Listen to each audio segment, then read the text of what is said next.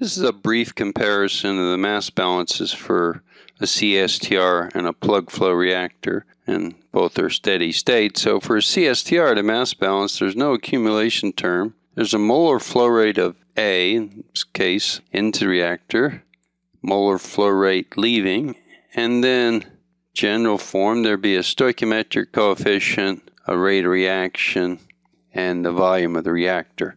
So for A goes to B type reaction, is the stoichiometric coefficient of A is minus 1, and so the, the balance can be written, and let's leave this as rate of reaction times the volume. So the important thing to keep in mind is that this is evaluated at the exit conditions. In other words, the contents and the exit are same conditions, and so it's evaluated at this concentration. So for example, if this were a first order reaction, R would be K times Ca, where Ca is the concentration in the reactor.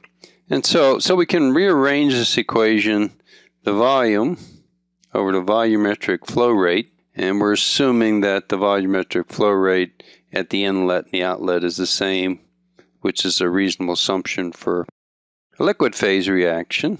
Ca0 minus Ca divided by the rate of reaction, where we're going to indicate that this is evaluated at the exit conditions.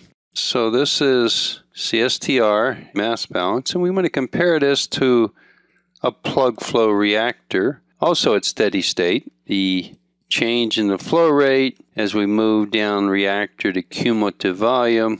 So again, the stoichiometric coefficient times R, and we're going to use minus 1. So this is R. And if we assume constant density for this one, so we can compare to the CSTR, then the molar flow rate is a volumetric flow rate times a change in concentration with volume equals minus R.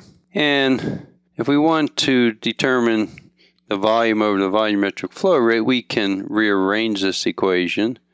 dV over V equals dCA over minus R.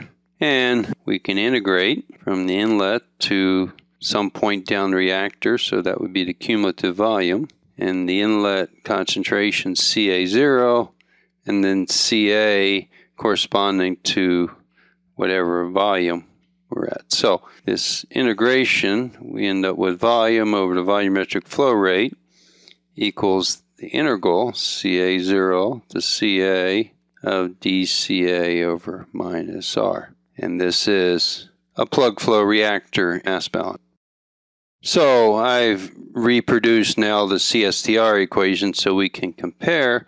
You notice the similarities. Here's a concentration difference and a rate. And the big difference between these two is this rate in the CSTR is at the exit conditions.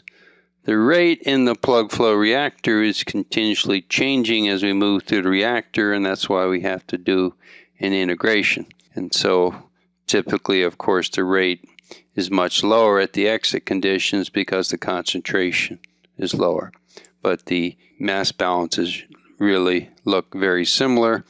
And the thing to keep in mind is the CSTR operates at the exit concentration. And this makes a big difference in the rate of reaction.